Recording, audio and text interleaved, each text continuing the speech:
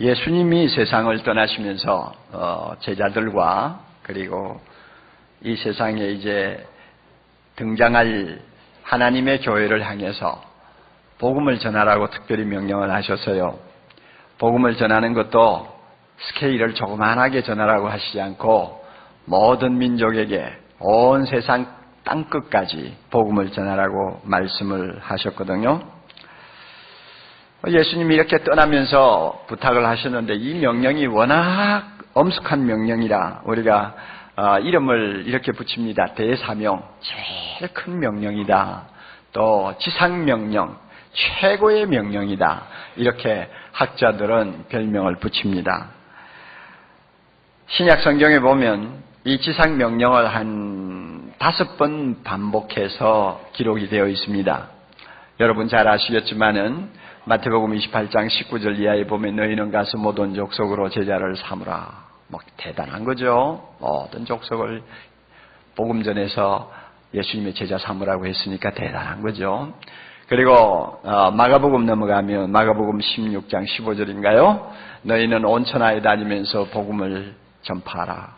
온 만민에게 복음 전파라고 또 말씀하시고 또 누가복음에 가면은 24장 47절로 기억합니다. 그 말씀 보면 또 간접적으로 복음을 전하도록 명령하세요. 구약에 기록한 대로 제 사함을 얻게 하는 이 복음이 예루살렘으로부터 시작해서 모든 족속에게 전파될 것이 기록되었으니 너희는 이 모든 일의 증인이라 증인이라 이 모든 일에 너희가 증인이다 하는 말은 너희는 이 복음을 땅 끝까지 전하는 사람이 되어야 된다 하는 명령이 그 속에 포함되어 있습니다. 그리고 요한복음 20장 21절 아버지께서 나를 세상에 보내신 것 같이 나도 너희를 세상으로 보낸다. 아예 파송한다 하고 말씀하시고 드디어 이제 클라이막스로 사도행전 1장 8절에 오면 오직 성령이 너에게 임하시면 너희가 권능을 받고 예루살렘부터 시작해서 어디까지? 딴딴딴딴 해가지고 딱 끝까지. 그렇죠? 딱 끝까지 내 증인이 되리라. 이 말은 내 증인이 되라 하는 명령이 그 속에 들어있어요. 십자가에 죽으시고 부활하신 예수 그리스도는 하늘의 권세와 땅의 권세를 다 하나님으로부터 위임받은 최고의 통치자, 최고의 권력자입니다. 왕 중의 왕입니다. 이 왕 중의 왕이 우리를 향해서 이렇게 명령하셨어요. 땅끝까지 복음을 전하라. 그리고는 자기는 하나님 나라로 가셨습니다. 마지막 명령이죠. 그러므로요, 이 엄숙한 명령 앞에 아무도 아니요 하고 말을 할 수가 없습니다. 일단 예수님을 나의 구주로 마음에 영접하고 주님하고 부르는 사람은 예외 없이 이 명령에 복종할 수밖에 없어요. 만일 우리가 예수 믿고 복음을 전하라는 이 주님의 말씀을 대수롭지 않게 여기면서 세상을 살고 있다면 한 가지 분명한 사실이 있습니다. 예수님의 가장 큰 명령을 거부하고 있다는 것입니다. 그러므로 전도 안 하고 그저 적당히 신앙생활 하면서 세워라 내워라 하고 보내는 분들 뭐 천당은 갈지 모르지만은 예수님의 가장 큰 명령을 고의적으로 거부하거나 무시하고 살았다는 그 점에 대해서는 아마 책임을 면할 수가 없을 거예요. 이만큼 예수님의 이 지상 명령을 순종하는 것은 우리 모두에게 대단한 의미를 갖는 것입니다. 여러분 우리가 믿지 아니하는 형제들을 볼 때이 형제 구원해야지 예수 믿도록 해야지 어떻게 하면 전도할 수 있을까 하고 우리가 안타까워하는 이유가 안타까워하는 이유가 어디 있느냐 말이요. 예수님이 전하라고 명령을 하신 것을 알고 있기 때문에 안타까워하는 거예요. 우리가 지난 20년 가까이 대각성 전도 집회라는 새 생명 축제를 열고 해마다 6개월 동안 준비하면서 한 영혼이라도 더 구원하려고 우리가 정성을 쏟는 이유가 뭡니까? 교회가 세상 끝날까지 모든 족속에게 복음을 전하라고 하신 이 예수님의 명령을 조금이라도 등한히 한다면 그 교회는 존재할 이유가 없는 거예요. 그러므로 우리가 매년마다 어떻게 하든지 주님의 이 명령 한번 순종해보고자 하는 몸부림으로 대각성 전도 집회 새 생명 축제를 열어서 오늘까지 이어나왔습니다. 얼마나 엄청난 열매들이 참 우리 앞에 나타났습니까? 이것은 교회가 세상에 존재하는 본질적인 이유이기 때문에 이걸 거역하면 교회는 교회의 머리 대신 하나님의 명령을 거역하는 것이에요. 그러므로 우리가 이 명령을 예사로 보지 마세요. 뭐 선교사들이나 특별히 소명으로 알고 행하는 일로 보지 말라고요. 여러분 예수님을 나의 주님이라고 고백합니까? 주여하고 부릅니까? 나의 왕이라고 고백합니까? 하나님이라고 고백합니까? 고백하시면 그분이 주신 제일 큰 명령 여러분이 거역하면서 인생을 살고 신앙생활 못해요. 그런 모습은 없습니다.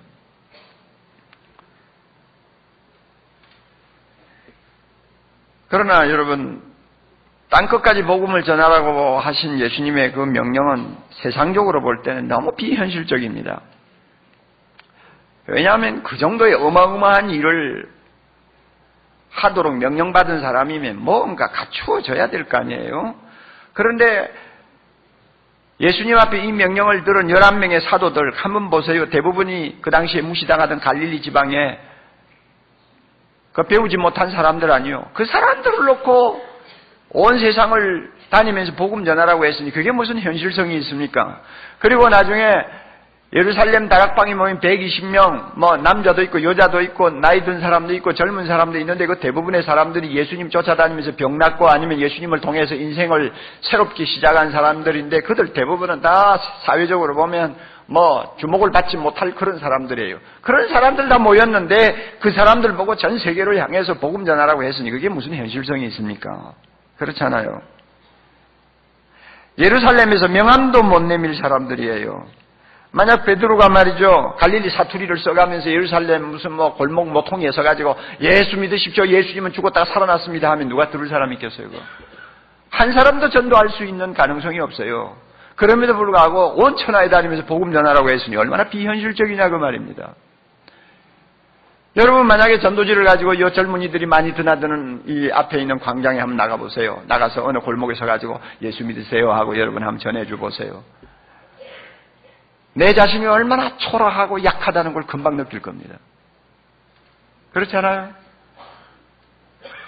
그래도 남자들은 대부분이 그래도 마음들이 좀 너그러운 편이에요. 받아요. 전도지를 받고 고개를 끄덕끄덕하고 뭐 이래요. 그러나 팔짱 끼고 가는 여자들은 참 표독해요. 딱 뿌리쳐요. 안 받아요. 에, 그, 그냥 뭐 그런, 그런 사람들이 볼 때, 그 뭐, 어떻게 해서 그 사람들을 예수 믿게 할 수 있습니까? 참 생각하면은, 이야, 이거는 뭐 절벽이구나 하는 생각을 합니다.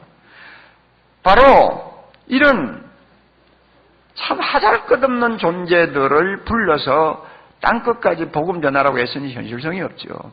또 그뿐 아니에요. 예수님의 명령이 현실성이 없다는 이유는 또 있어요. 이 세상이 너무 악하다는 사실 때문입니다. 세상은 아직도 하나님의 원수인 사탄의 점령 지역입니다.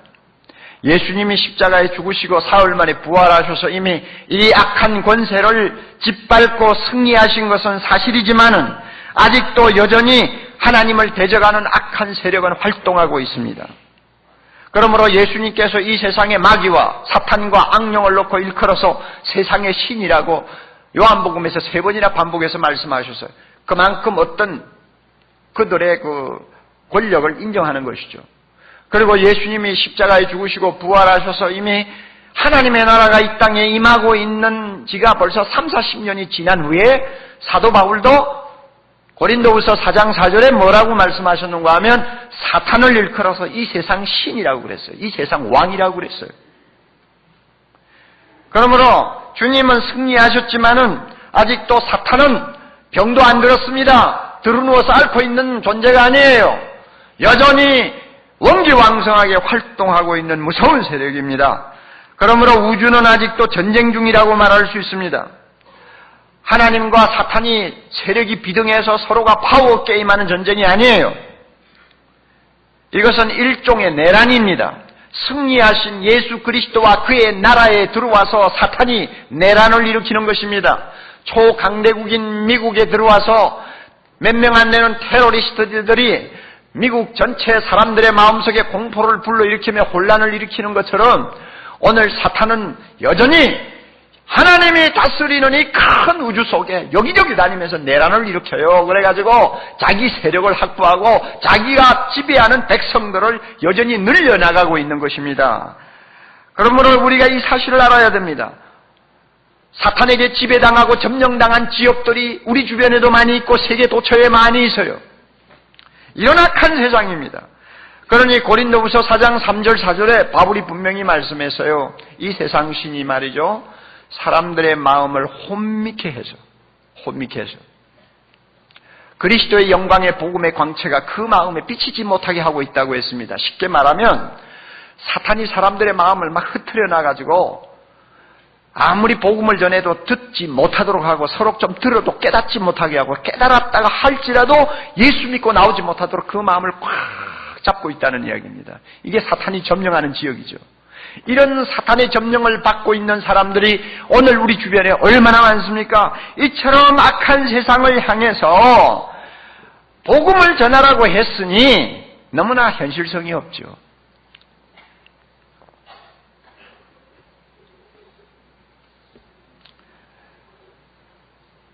복음을 전해야 될 사람을 보아도 신통하지 못하고 복음을 전해야 될 현장을 보아도 너무너무 악하고 무섭고 이런데 어떻게 우리가 복음을 전합니까? 어떻게 땅끝까지 예수 그리스도의 나라를 확장할 수 있습니까?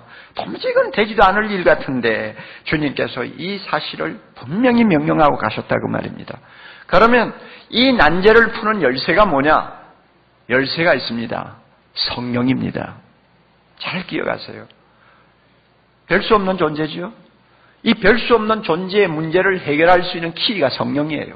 이 세상 악하죠? 이 악한 세상을 어떻게 우리가 다룰 수 있습니까? 그것을 다룰 수 있는 열쇠가 성령이라고 말입니다. 성령의 능력이라 말입니다. 성령의 능력을 받으면 우리는 강해집니다. 얼마만큼 강해지느냐? 예수님만큼 강해집니다.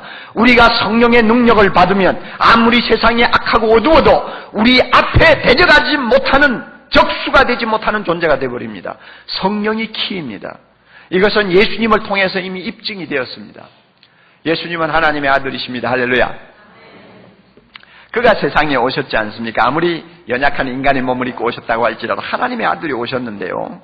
벌써 그분 자신이 이 세상의 모든 권세를 지배할 수 있는 영광을 갖고 계시죠. 그럼에도 불구하고 그가 세상에 오셔서 일할 동안에는 모든 것을 성령에게 의탁했습니다. 성령이 말하게 하시니까 말하셨고 성령이 전도하게 하시니까 전도하셨고 성령이 병, 병든 자를 고치게 하시니까 고치게 하셨고 성령이 나중에 죽은 무덤에서 일어나게 하시니까 예수님이 일어나셨어요. 전적으로 성령에게 예수님이 의탁하셨어요. 사도행전 10장 38절에 그 사실을 이렇게 말씀합니다. 하나님이 나사렛 예수에게 성령과 능력을 기름 붓듯 하셔서 성령과 능력을 예수님에게 기름 붓듯이 하셔서 그 능력에 힘입어 두루 다니시며 착한 일을 행하시고 복음을 전하시고 그 다음에 마귀에게 눌린 모든 자를 고치셨다고 말씀했습니다. 예수님이 그렇게 해서 이 세상에서 복음을 전하시고 십자가에서 승리하셨어요. 누구의 능력으로? 성령의 능력으로 다시 한번 예수님이 이 세상에 오셔서 복음을 전하시고 십자가 지시고 부활로 승리하셨습니다. 누구의 능력으로? 성령의 능력으로 승리하셨단 말이에요. 예수님이 자기가 그렇게 하셨기 때문에 제자들을 보고 또 우리들을 보고도 똑같이 하라고 말씀합니다. 너희들이 성령을 받아야 돼. 성령 받아야 땅 끝까지 복음 전할 수 있어. 하고 우리에게 가르쳐 주셨어요. 그러므로 예수님이 성천하시기 전에 그렇게 말씀하셨잖아요. 너희가 성령이 임하셔서 너희에게 권능으로 무장시키기 전에는 밖에 나가서 뭐 예수 믿으라는 소리 할 생각하지 말라. 기다리라고 그랬죠. 기다리라고 그랬어.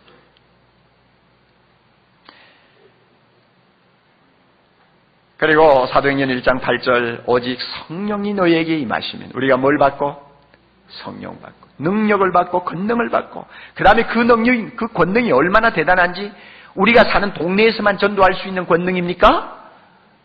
예? 예루살렘에만 전도할 수 있는 권능입니까? 아니죠. 우리 집안 식구만 전도할 수 있는 권능입니까? 아니죠. 어디까지? 예루살렘에서 넘어가지고 사마리아까지. 뭐 우리나라로 말하면 저 전라도까지. 그 다음에 더 나아가서 어디까지? 갈릴리까지, 저 북한까지. 그 다음에 성령의 능력은 그 정도 가지고는 안 되는 겁니다. 너무너무 그 능력이 커서 그 이상으로 뻗어나가야 됩니다. 어디까지? 땅 끝까지, 요사이 말로 말하면 세계 끝까지 복음을 전할 수 있는 능력을 성령이 우리에게 주십니다. 교회에 주십니다. 성령의 능력은 이만큼 강합니다. 이만큼 역사합니다.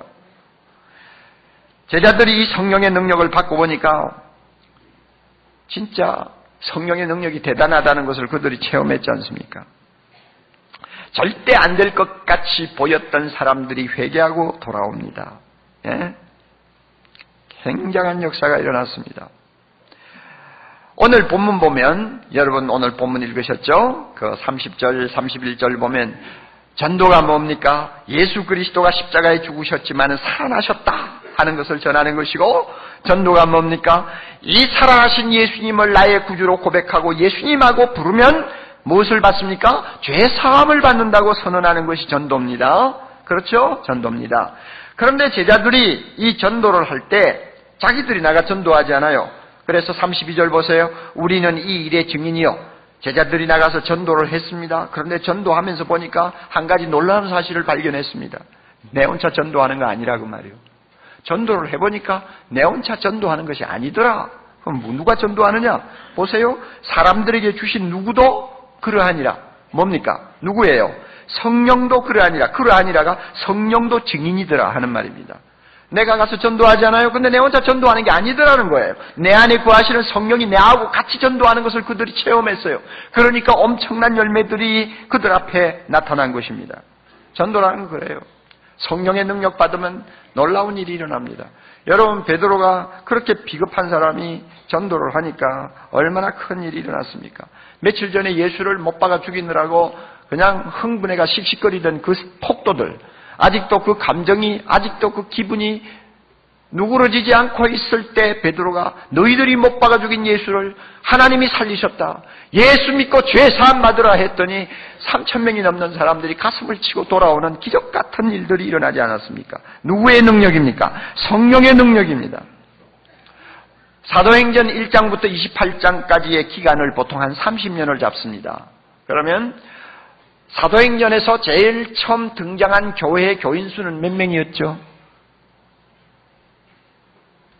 120명이죠?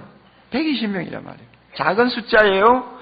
그런데 한 30년이 지나고 나니 사도행전의 그 기간 동안 예수 믿고 돌아온 모든 성도들의 숫자를 학자들이 대충 추측해서 10만 명이라고 봅니다.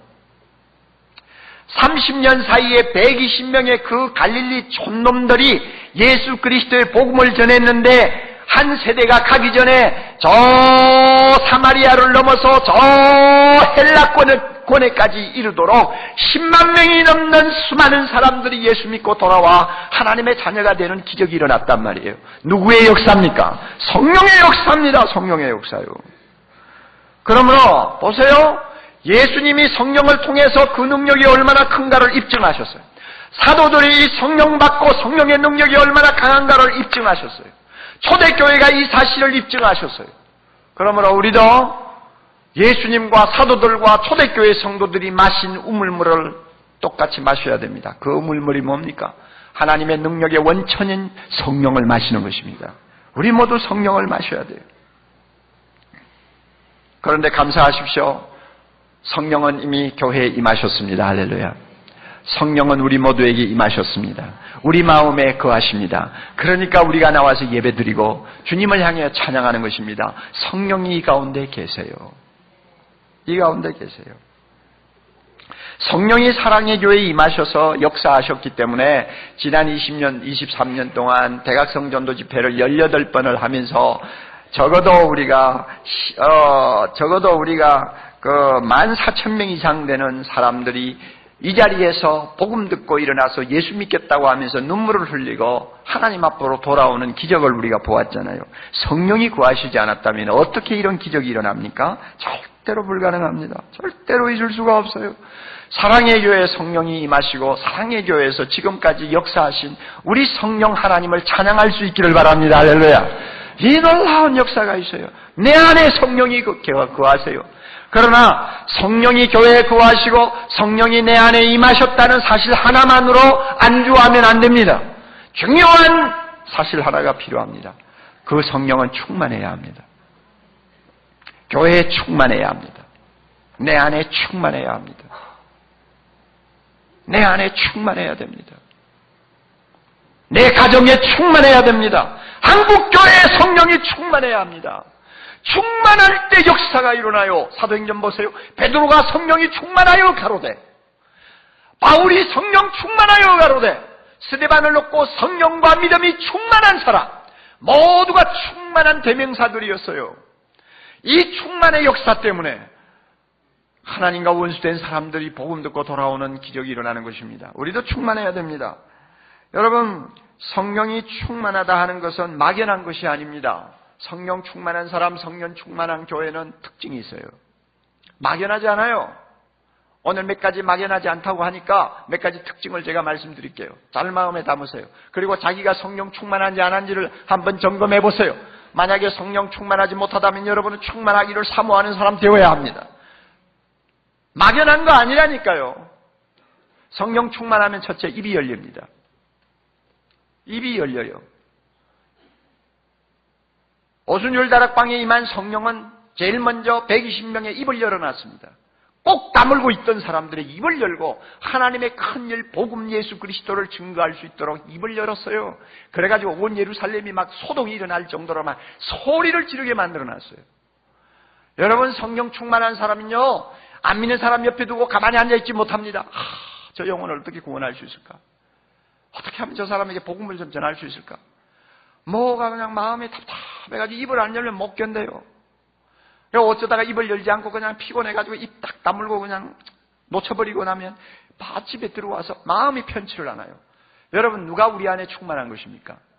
성령이 충만한 사람이니까 그런 그런 감정이 일어나는 것입니다. 아시겠어요? 알아요? 몰라요?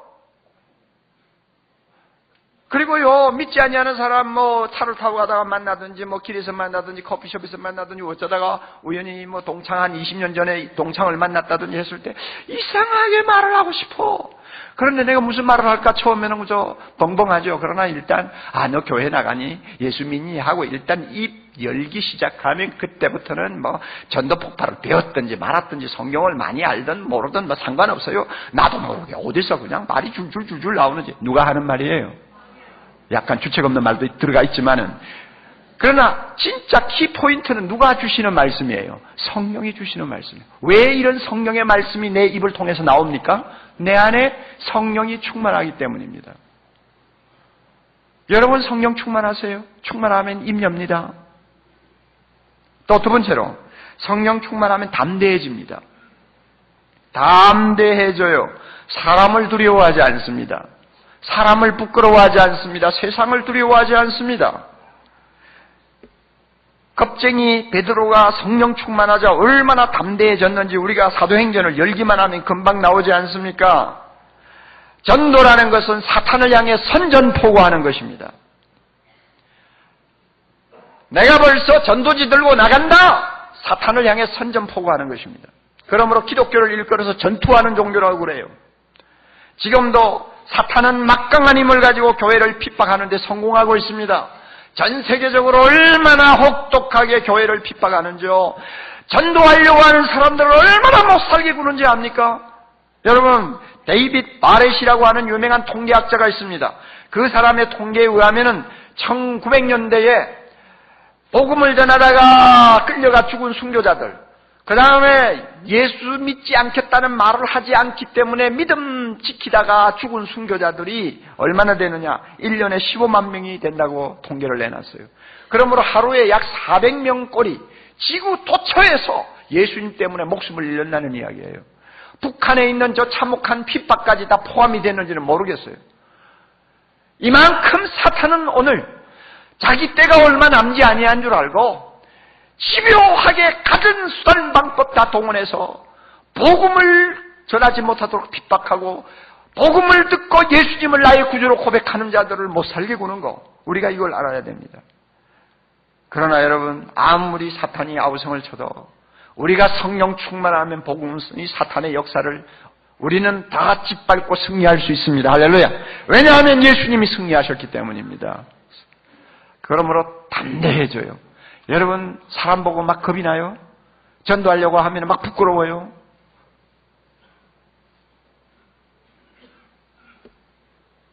아직도 충만하지 못한 사람이에요. 기도하셔야 돼요. 주님 충만하게 해주세요. 술 먹고 길거리에서 갈지짝 걸음 걷고 비틀거리는 건 하나도 부끄러운 줄 생각 안 하는 인간들이 한 영혼을 영원한 죽음에서 구원해서 하나님의 거룩한 백성 만들려고 좀 수고하는 그것을 부끄럽게 생각한다.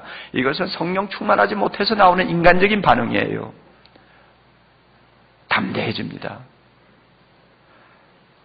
세 번째로 성령 충만하면 표적과 기사가 일어납니다.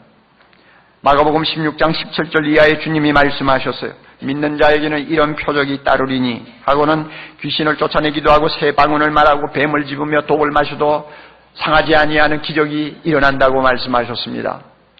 저는요, 우리 기독교 일각에서 주관 주장하는 뭐 능력 전도라는 그런 어, 주장에 별로 동의는 안 합니다. 막 전도할 때는 무조건 막 악한 귀신하고 막 혈투를 벌려야 전도가 된다고 주장하는 것은 제가 그렇게 뭐 동의하지 않아요. 우리가 전도하러 나갈 때마다 이 귀신들아 다 일어나라, 다 일어나라, 내가 나왔다, 한번 싸워보자, 뭐 이런 식으로 해가지고 그냥 막 그런 식으로 막 쫓아내고 뭐 그다음에 막 그 뭡니까 뭐그 무슨 표적이 일어나야 전도가 된다고 주장하는 것은 동의 안 한다 그 말이에요. 이미 우리는 누구의 이름으로 나갑니까? 예수의 이름으로 나갑니다. 예수 이름 자체가 권능이 있어요. 우리 안에 이미 누가 거하십니까? 성령이 거하시고 충만합니다. 그거 하나만으로도 얼마든지 됩니다. 그러므로 지난 23년 동안 사랑의 교회가 무슨 표적 기사 뭐 요란한 것을 우리가 보지 않았다 할지라도 수많은 심령이 어두움의 쇠사슬을 끊고 주님 앞으로 나올 수 있었던 것은 예수의 이름 그 자체가 복음 그 자체가 능력이 있기 때문에 그렇습니다. 그러나 그러나 경우에 따라서는 하나님께서 표적과 기사를 일으킵니다. 특별히요 전도하기가 무지무지하게 어렵고 오만 가지 귀신 잡동사니가 진을 치고 있는 그런 선교지 최전방 같은 데 가면요. 하나님께서 필요할 때마다 표적 기사를 일으킵니다. 램지 맥뮬렌 박사라고 하는 분은 예일대 어, 역사학 교수인데요. 로마 제국을 연구한 가장 권위 있는 교수로 알려져 있습니다. 로마 제국이 어떤 나라인지 아시잖아요. 황제를 신으로 섬기는 나라였습니다. 그리고 그 나라에는 오만 가지 신들이 그리고 신하와 그 다음에 어, 많은 귀신들이 살고 있다고 사람들이 믿고 겁을 먹고 날마다 제사를 지내는 나라였습니다. 이런 나라가 어떻게 300년 사이에 기독교 나라로 바뀌었을까? 어떻게 300년이라는 짧은 어, 기간 안에 그 촌놈 같은 몇 사람들이 전하는 예수 그리스도의 복음 앞에 그 큰 제국이 무릎을 꿇게 되었을까? 이게 그 맥뮬런 박사에게는 굉장히 관심거리였어요. 그래서 그 300년 기간 동안에 어떻게 해서 복음이 이렇게 전 국가에 확산되었는가를 연구해서 책을 하나 낸 것이 있습니다. 그 책에 보면 그 당시에 기독교가 그렇게 로마 제국을 정복할 수 있었던 여러 가지 이유가 있지만 그 가운데서 가장 두드러지는 이유가 뭐냐 하면 귀신을 쫓아내는 능력이 탁월했다는 것입니다. 표적이 일어난 거죠. 그러니까 뭐 여러분 무슨 귀신이도 모르고 귀신에 들려가지고 헛소리하고 떠들고 하는 사람들 전도하는 사람이 가가지고 예수 이름으로 물러가라 하니까 그저 뭐 깨끗하게 물러가고 새 사람 되고 예수 믿고 돌아오고 그 다음에 뭐 어떤 신전에 가가지고 예수 믿는 사람들이 한마디 전하니까 그 신전에 있는 모든 것들이 그저 수라장이 되어버리는 역사가 일어나고, 어, 이런 소위 하나님과 그 다음에 하나님보다도 못한 열등 신하고의 어떤 대결에서 예수의 이름이 이기는 능력과 표적이 계속 나타나니까 나중에는 로마 제국을 흔들어 놓는 큰 역사가 일어난 것입니다. 지금도 선교지에 가면요, 그 무식한 토족들 상대로 해가지고 복음 전할 때 선교사를 통해서 표적 기사들이 많이 일어납니다. 성령 충만하면 이와 같은 표적과 기사가 우리에게도 일어날 수 있다는 것을 우리는 믿습니다. 또 성령 충만하면 놀라운 전도의 열매가 일어납니다. 예루살렘에서처럼 집단 회심이 일어납니다. 빌립보에서처럼 가족들의 회심이 일어납니다. 그리고 성경에 기록되지 아니한 수많은 개인 회심이 일어납니다. 개인적으로 가족적으로 많은 사람이 집단적으로 회개하고 일어난 돌아오는 대붕이 일어날 수 있다는 말입니다. 언제 우리가 성령 충만하면요. 그러므로 여러분이 가서 전도했는데 아 한 사람이 예수 믿고 돌아왔어요. 여러분 성령 충만한 증거입니다. 그리고 그 사람 때문에 그 가족이 그냥 열 명이 다 예수 믿고 돌아와서 교회에 나와요. 여러분 놀라운 성령에 충만한 사람인 줄을 믿으시기 바랍니다. 우리가 예수 믿으라고 하는 것은 회개를 촉구하는 것입니다. 회개를 촉구하면 하나님이 용서해 준다고 하는 약속을 주는 것입니다. 그러나 여러분 이것은 회개하라 하는 것은 쉬운 말이 아니에요. 그 말은 지금까지 사람들이 하나님을 대적하느라고 들고 있던 손에 들고 있던 칼을 놓으라고 하는 이야기입니다. 칼을 놓으라. 그리고 무릎을 꿇라는 건데요. 여러분 이 일을 누가 감히 강조할 수 있습니까? C.S. 루이스가 말한 것처럼 회개하라 하는 말은 그 사람 보고 죽으라는 말과 같아요. 그 사람 보고 죽으라는 거예요. 일종의 죽음을 각오하라는 것인데 누가 감히 가서 사람들 보고 너 칼을 내려놓고 하나님 앞에 무릎 꿇고 죽어라. 누가 말할 수 있습니까? 그런데 그런 일들이 일어난단 말입니다. 성령이 충만하는 역사가 일어납니다. 역사가 일어나요. 지금도 세계 곳곳에 놀라운 전도의 열매들이 일어나고 있습니다. 어느 목사님을 제가 만났더니 그래요. 그분은 세계적으로 다니면서 복음을 전하시는 분입니다. 작년인가 중앙 아프리카에 가서 복음을 전할 기회가 생겼다고 합니다.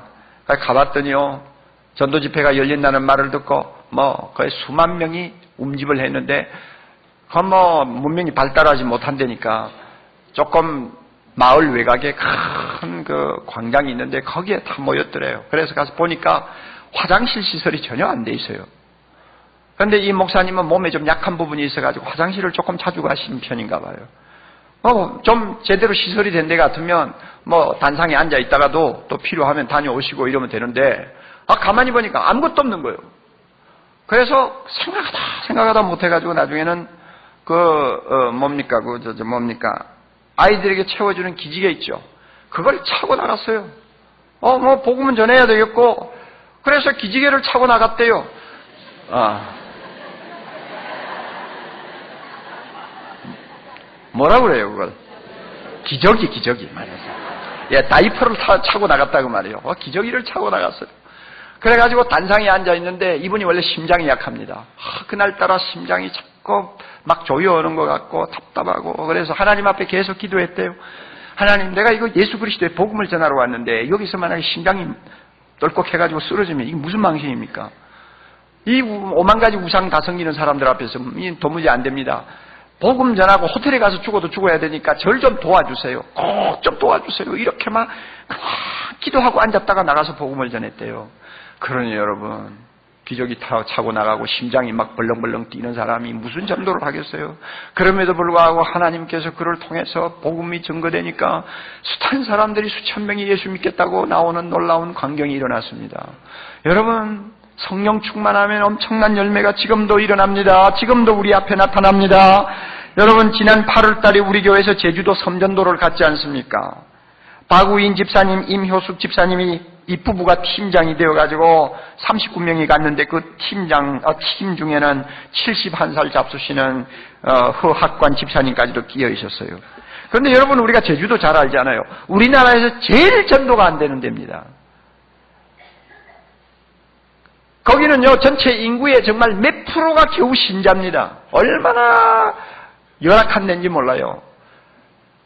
그래서 거기에 있는 교회 목사들이 그래요. 한 사람 전도에서 예수 믿고 돌아오면 육지에서 100명 돌아오는 것과 같다고 그래요. 그랬는데 우리 전도팀이 가가지고 기도하면서 300명 가까운 사람에게 복음을 전했는데 여러분 그 가운데서 110명이 예수 믿겠다고 결심했대요. 놀랍습니까? 안 놀랍습니까? 우리 교회 전도팀에게 성령이 충만한 것입니다. 그런데요, 아무리 결심해도 교회 나와야 되잖아요. 법한교회라고 제주도에 있어요. 그 법한교회 목사님이 너무 흥분해가지고 연락을 했습니다. 뭐라고 했는지 알아요?